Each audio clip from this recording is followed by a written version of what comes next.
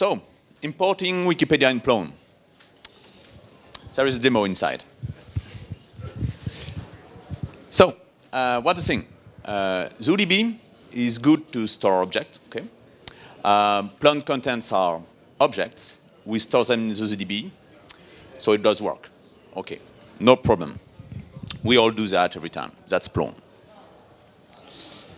But what if you want to store um, lot of records, non-contentish record, let's say that, like, um, I don't know, um, addresses, contacts, uh, polls results, uh, statistics, um, subscribers, this kind of stuff.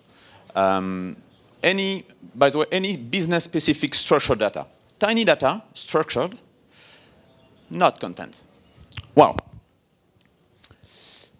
you can store them as content anyway. You can create a content type and so, store them that way. It, it will work pretty fine uh, as far as you do not have um, too many data to, to, uh, to store. Like, let's say, yeah, 100,000 is okay, but it's pretty much the maximum. So, uh, another approach. You can store them in, um, in an SQL database. Okay, It just works. Uh, I mean, that's, uh, that's a good solution. We can do that pretty easily with Zope. Okay, but two major problems. First one, uh, you need to manage a secondary system. I means you, you need to deploy it, you need to uh, back up this system, you need to make sure it's secured. Security is just fine in Zope, but when you try, when you start putting data outside Zope, then you have to implement the security somehow. So it's all a mess. Okay, that's problem number one. Problem number two, I hate SQL. So basically, I can't. Um, that's the way it is. Um, maybe I can just cannot digest it. No way. So, how could I how could I do that? How could I store many, many, many records in my ZODB? Because I just love my ZODB. I want to stick to it. Is the ZODB strong enough to manage such an amount of data? Is the ZCatalog strong enough to index the data? Because I probably need to index them to be able to search, filter, and so on. Well, my grandmother, my grandmother always told me that if, you're not, if you want to become stronger, you need to eat your soup. And that was a really good advice. She could have been a, a good Zope developer, by the way.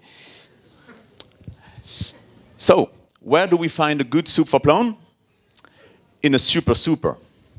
So meet souper.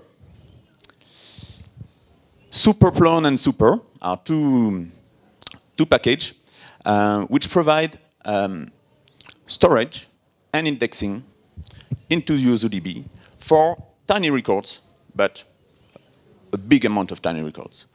Uh, basically, what is it? It's just a way to um, record any pickable data in a persistent structure.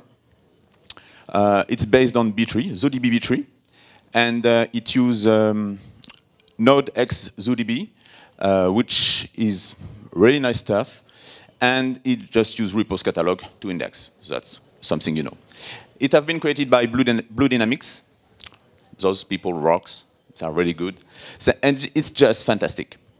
So let me introduce Souper. Um, it's quite straightforward to use. You can create a soup. So a soup is a container for records. You can create as many soup as you want in your, uh, in your Plone. You create a soup, then you create a record, and you set attributes. Okay, no big deal. You can store anything that is, which is pickable, okay, into records.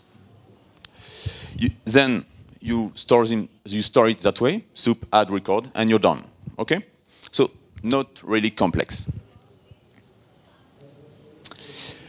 Uh, you can have a record into a record, no problem. So here, my record and address uh, going to be into, uh, going to have secondary attributes. It makes no problems. And you can access your record very easily as well. So you get your soup and you get your record by its ID. So nothing difficult here.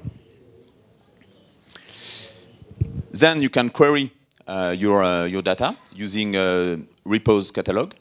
You have, okay, we cannot see everything, but anyway, um, you, you can write a query uh, using uh, those, um, those keywords, or you can also use a CQ format, which is much easier to, to read. So like user equal user one and foo in text, and you're done. Um, it just return a record. Uh, it can be run in lazy mode, of course, and it's very, very efficient. So of course, to do that, you need to define some index, different type of index. It's quite similar to, to the ZCatalog, of course. That's um, uh, you have a text index, you have a field index, and so on. Um, more about Souper. Souper, um, a soup container can be moved into a specific ZODB mount point. Okay, there is a tool for that, really handy, and it can be shared across multiple uh, independent Plone instances. The same, the same database, let's call it that way, the, same soup, soup container can be put into uh, an FS file and shared if you need it. And it works on Plone and Pyramid, which is a good point. So now, um, well, as you know, I'm, I'm creating, I'm uh, managing Plomino, so I try to put souper in Plomino, basically. So we can use Plomino to build non-content content-oriented application very easily. Dylan Jay just talked about it. Uh, you just design a form and you have a structure. And using structure, you can start creating data. And using Souper, well, the idea is to be able to manage a huge amount of data. So originally, in Plomino, the records, documents, we, name, we name them documents, were just AT folders. Okay, so well, about 30,000 records were kind of maximum. To improve that, we moved it to pure CMF. Okay, so just a B-tree folder, a CMF B-tree folder, CMF object in there, and we are about one, yeah, 100,000 is kind of okay, but uh, if you want to go uh, higher it can, can be difficult. You have to optimize stuff. You have to make sure you have not too many index in your uh, ZCatalog because Plomino use uh, a, a, local catalog for every database, and it can get quite big and it, it slow down everything. Okay. Now with Souper, we can reach millions. So you have millions of records in your in your ZODB, and it just works out really nicely. Yeah. Is it okay if we ask questions as you go? Okay. When you talk about hitting capacity, yeah. what are the things you hit? And are they different for each one of those three cases? Uh, sorry, I don't, I don't, I missed your point. Can you go back to sure. the AT? folder. Yeah, there. Yeah. So on this one and then Yeah. the next one and the next one, you Yeah. say capacity. The, maximum amount of data you can. What were the kinds of things that stopped you from going above that? Conflict errors or memory? No, it was no, it was uh, memory was okay. No, it was just too slow, Okay. basically. Query Yeah, querying when you are trying to filter data or to, to extract data for some reason, it was just too slow. Not usable, but it was working. Okay, you, you just too slow. No, conflicts are okay. Uh, memory is fine. So there's, there's no problem like that. Just not usable, basically. That's it.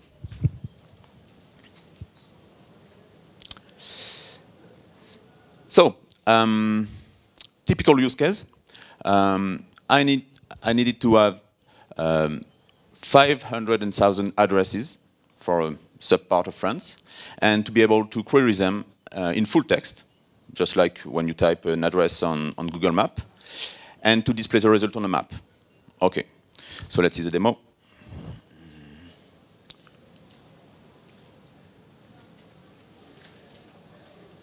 So, so here is my map. Here I have, um, well, it's ugly, okay, it's not the, the real production thing. Um, I enter any address. That's the city of Nantes, if you know. And I get the result. So that's my address. And it's full text indexed. I can have any address in the street. and it's really fast. Okay, half a million of address. Try to do that with archetypes or dexterity, and you're gonna crash your your Plone site. Okay, it's really responsive. It's, it works really nicely. So that was my initial case, let's say, and it works. But at this point, I decided to see, well, if I can do that, can I go higher? And what's the limit? What's the limit, basically? So, um, well, I decided I'll try to figure out something which is known as being big. I picked Wikipedia. Everybody knows that Wikipedia is big, but maybe you don't know how many records there are in, in Wikipedia, how many articles there are in Wikipedia. Um, I took the, the dump from um, last year, 2012, and it was about uh, five million and a half. Okay. Um, so I said, why not? Uh, let's try. I, I don't specifically need to import Wikipedia in Plone, but let's try and let's see. Um, first, I'm going to show you how it behaves with uh, only half a million of record.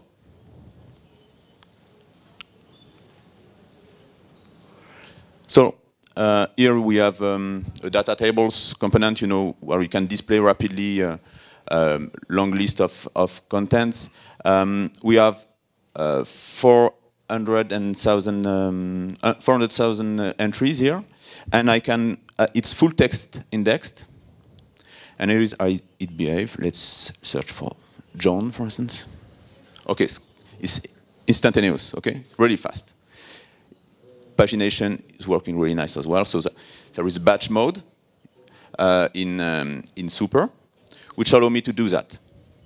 It's just perfect. Now, that was easy.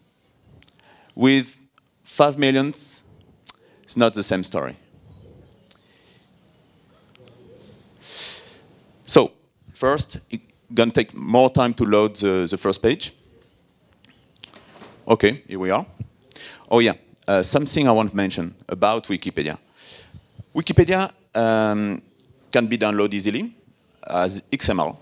It's quite um, shitty XML format, really difficult to parse because you have few XML attributes and then you have a big piece of wiki text with a lot of markers. It's not, it's not tagged based at all. It's really difficult to parse. And as I have to extract a lot of information from Wikipedia to build this, uh, my objective was to show the connection between the articles. So see what is linked to what.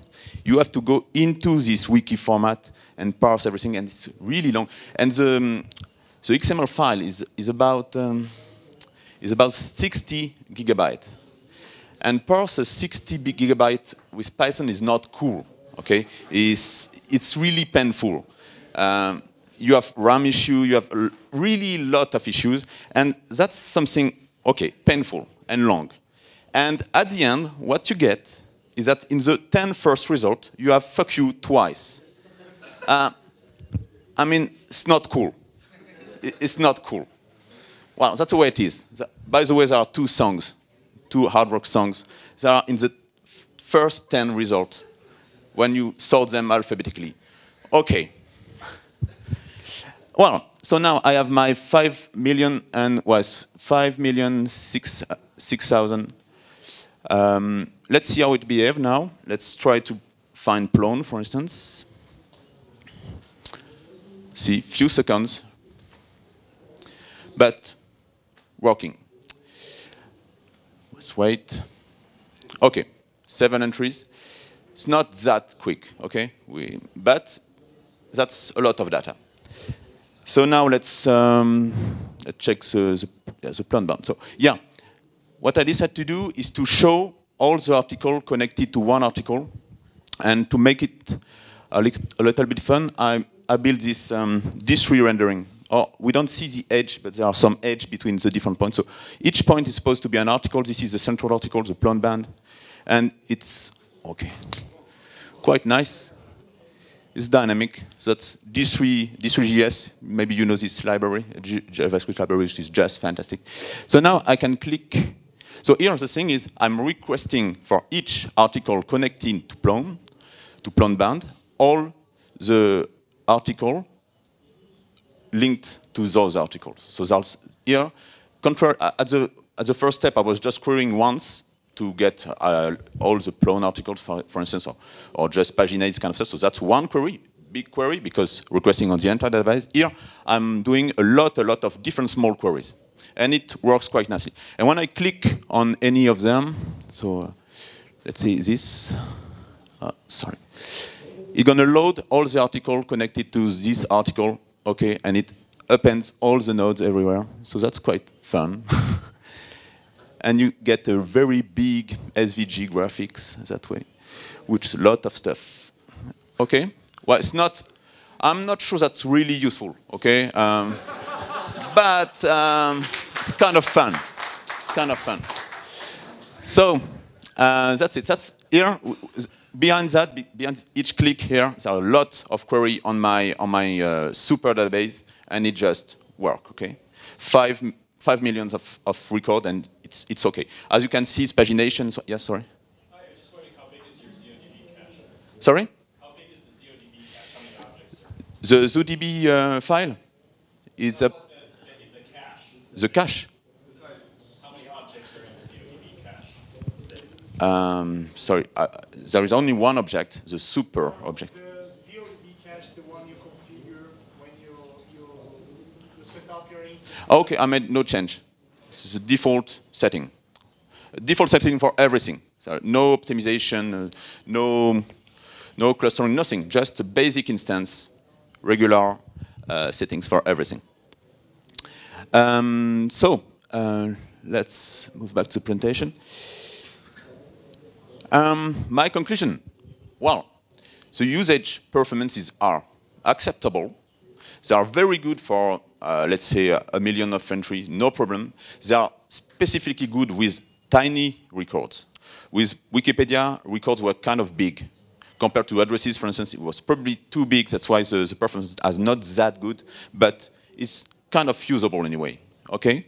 And the Plone performance are totally not impacted, okay?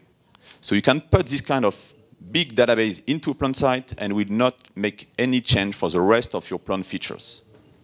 So use it. Use, use Souper. It's just fantastic. It's really easy to use, really easy to install. You, you should use it for your development, for your products and so. And few thoughts. Um, maybe we could build a REST API on top of Souper. Could be useful. So we could imagine to access it via our JavaScript stuff on front end to store anything uh, into the, the backend transparently without brothering uh, Plone, um, any, any intermediate package. We just call the soup and put stuff or read stuff, get stuff, etc. via a REST API. Could be cool.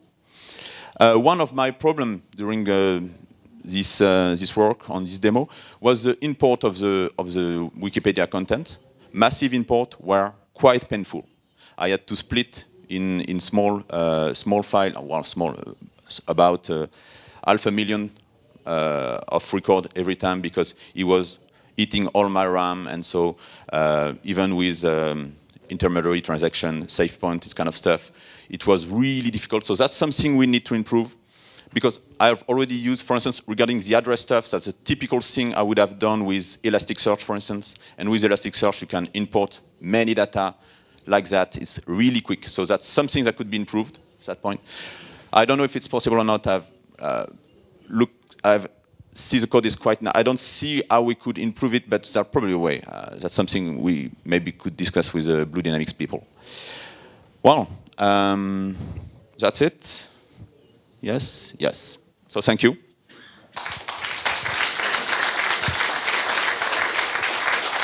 Question, yes? Um, I'll give you the mic. Uh, yeah, maybe you could just defer indexing when you're implo- importing. Just import everything and then index at the end, and not index every every after every insert, right? I'm guessing it's indexing indexing after every insert. That's something I tried, and that's something I did, by the way. Uh, it does help, but not, it's not the whole thing. Yeah. Um, how uh, is this already integrated in Plomino or not? Or do you have to? What do you have to install or do extra? So it's not it's not already uh, releasable. Um, the the regular Plomino version is still working with CMF, and um, this version should be I don't know I haven't, I haven't planned a really uh, for now a release because I've broken a lot of stuff in Plomino to make it work. Um, and my objective is to uh, try to isolate the storage layer in Plomino so we can plug it to Souper or to uh, regular CMF object or to SQL or what, well, not SQL because I hate it, but if someone wants to do it, uh, it will be easy. But uh, so that's a work I want to do before just releasing uh, Souper. Here, my problem compared to the current Plomino feature is I am not able to store files, okay, attach files into documents. So I plan to have a separate B-tree folder to store files related to each documents, and this is something I need to do to before we can imagine any release. But that's not big work. I think it's okay. So that's something will occur uh, probably next year. Um, I mean, for sure. Anybody else? No? Well, thank you.